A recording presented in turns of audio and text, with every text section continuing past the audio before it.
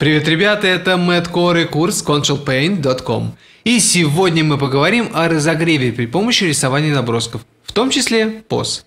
Мы уже обсудили техническую сторону вопроса, то есть как нарисовать ту или иную позу, но я пока что не объяснил вам, зачем вообще это нужно делать. Если кратко, то суть в том, что так вы готовите себя к работе и оттачиваете навыки. Итак, фоном я поставлю запись моего собственного разогрева, который я рисовал этим утром.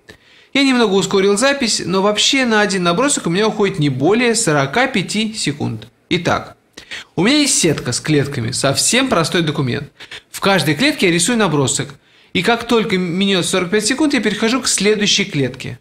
И самое замечательное в этом 45-секундном рисовании то, что мне приходится за очень короткий срок улавливать и обрабатывать очень много информации. И это и есть та самая замечательная сторона разогрева – быстрый темп. Я рисую наброски один за другим, без остановки.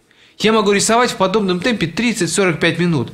И рисуя во время разогрева, я почти впадаю в транс. У меня нет ни одной лишней секунды на то, чтобы отвлечься и подумать о том, чем же я буду заниматься позже или чем я занимался на прошлой неделе. Я весь в работе. Потому что если вы хотите уложиться в срок, вам нужно реально шевелиться. Вот в этот и в основной секрет. Я не учусь рисовать людей. Я оттачиваю работу своих рук. Когда я в работе пытаюсь передать позу как можно точнее, я не задумываюсь над тем, что же делают мои руки. Мои руки – это лишь продолжение моих рук. Поэтому я учусь работать руками быстро и интуитивно. Я оттачиваю нанесение линий.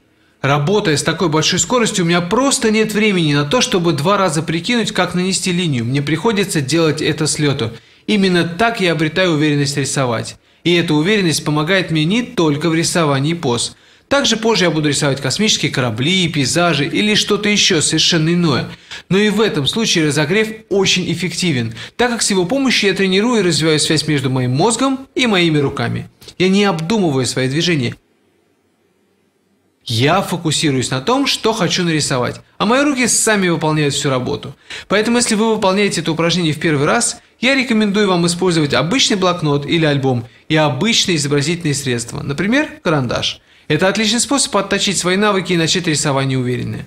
И если честно, рисование при помощи обычного карандаша и бумаги – это куда лучшее решение для новичков, чем средство для цифрового рисования. Но если вы уже не новичок и хотите поработать с инструментами для цифрового рисования, то можете рисовать и в Photoshop.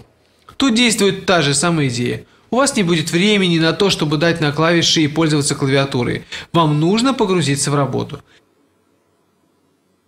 И как только пройдет 30-45 секунд, вам нужно будет переключиться на следующее изображение и рисовать, рисовать и рисовать.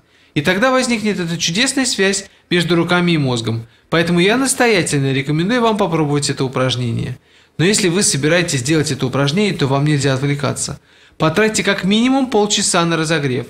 И даже если в этот день вы ничего больше не планируете рисовать, упражнение работает эффективно только тогда, когда вы достигнете нужного темпа, и ваши руки и мозг заработают слаженно. Я сам не занимаюсь медитацией, но сколько я могу судить, это упражнение по своей сути очень близко к медитации. Как только вы войдете в нужное состояние, начнется самое классное. У вас может уйти 10-15 минут только на то, чтобы почувствовать, насколько вы настроились на работу. Но как только это произойдет, вы почувствуете прогресс, начнете чувствовать связь с руками. Вы начнете обретать уверенность в рисовании. И если вам не хочется рисовать фигуры, не беда. Еще одна интересная интерпретация этого упражнения – открыть папку с вашими любимыми фотографиями, картинами и попробовать передать их суть за 30 секунд – у вас все равно получится набросок, а не полноценный рисунок. Но в нашем случае важен сам процесс. Вы можете включить на компьютере слайд-шоу, настроив его так, что изображения обновляются каждые 30 или 45 секунд, но не больше, иначе вы увязнете в деталях.